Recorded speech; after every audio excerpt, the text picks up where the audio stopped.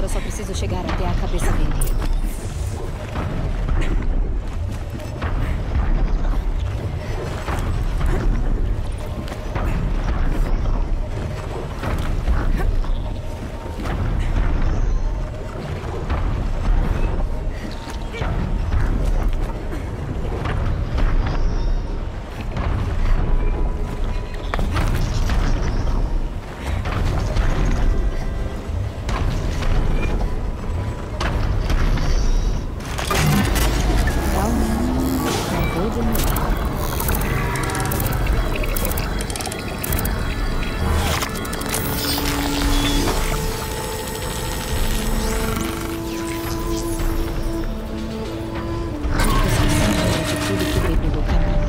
E depois avisa para as outras máquinas.